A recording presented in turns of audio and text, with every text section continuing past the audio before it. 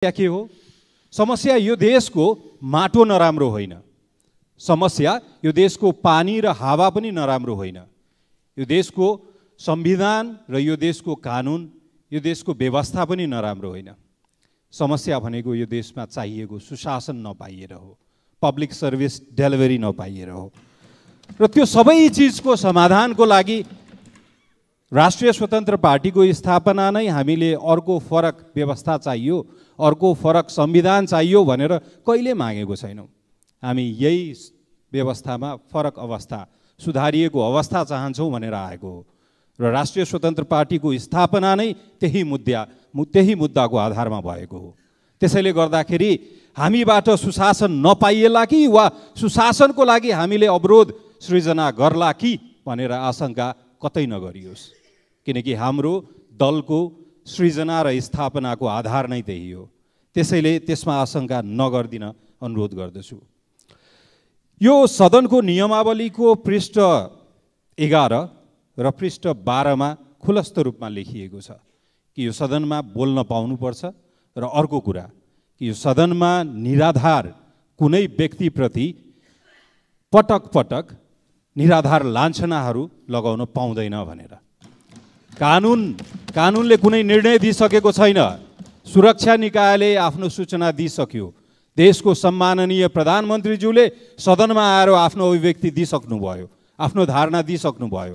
त्यो चौकीमा कसैले गएर दिइसकेको दिएको एउटा उजुरी हो जुन दर्ता भएको छैन।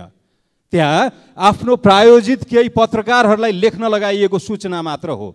त्यसमा प्रश्न छ निष्कर्ष छैन। तर त्यसको आधारमा पटक पटक कुनै एउटा व्यक्तिप्रति गरिएको प्रहारप्रति पनि हाम्रो आपत्ति छ। आउनुहोस् कानुनी रूपमा रूपमा जाउँ। आउनुहोस् प्रक्रियागत रूपमा जाउँ। कति कुण्ठा पालेर बस्नुहुन्छ? यसैले यस्तो राजनीति नगरौँ। हामीले न्यूनतम साझा कार्यक्रम पहिलो बनायौँ। सरकारमा संलग्न हुँदै गर्दा दुई हजार उनासी साल पुस पच्चिस गते। त्यसको बुधा नम्बर तिन पृष्ठ तिनको पहिलो बुधामा हामीले लेखेको छौँ। लेखेको थियौँ। हाम्रो दलबाट प्रस्तावित थियो त्यो। कि अहिलेसम्मको सबै भ्रष्टाचारको मुद्दाहरूको छानबिन गरियोस् भनेर। तर हामीले यो सरकारबाट आफ्नो मन्त्रीहरूलाई फिर्ता बोलाउँदै गर्दाखेरि फेरि अर्को नेपाली काङ्ग्रेस सरकारमा संलग्न भएपछि दुई हजार उनासी चैत्र तेइसमा अर्को न्यूनतम साझा कार्यक्रम बन्यो जसमा त्यो बुदाहरू हटाइयो। भ्रष्टाचारको बहस नगरौँ भनेर हटाइयो। मैले चैत्र चौबिस गते विशेष समय मागेर त्यसको गुनासो पनि गरेँ कि किन हटाउँदै हुनुहुन्छ? सरकारमा हामी संलग्न भए पनि नभए पनि यो देशमा भ्रष्टाचारीलाई बलात्कारीलाई सजाय दिनुपर्छ। कृपया त्यो नहटाइदिनुहोस् भनेर उहाँहरूले हटाइदिनु भयो हामीले तेस्रो न्यूनतम साझा कार्यक्रम बनायौँ। हामी सरकारमा फेरि फर्कियौँ।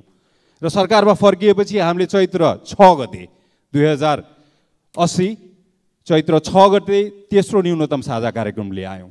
त्यसको खण्ड पाँच पृष्ठ तिन बुधा चारमा हामीले फेरि लेखेको छौँ कि सबै भ्रष्टाचारको फाइलहरू खोलौँ र भ्रष्टाचारको जसले यसको अनुसन्धान गर्छ त्यो संयन्त्रहरूलाई अझै सशक्त बनाऊ भनेर हामीले कहिले भ्रष्टाचारको मुद्दामा छानबिन नहोस् भनेर भनेका छौँ।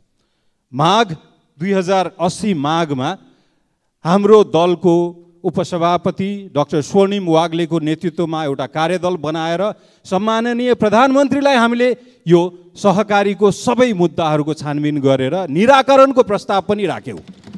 त्यसको यो हामीले खाका पनि तयार गऱ्यौँ सबै ठाउँमा साझेदारलाई पनि यसको प्रति बुझायौँ। हामीले कहिले भनेको छौँ छानबिन नगरौँ भनेर? हामीले निराकरणको निराकरणको प्रस्ताव धरि दिएको छौँ।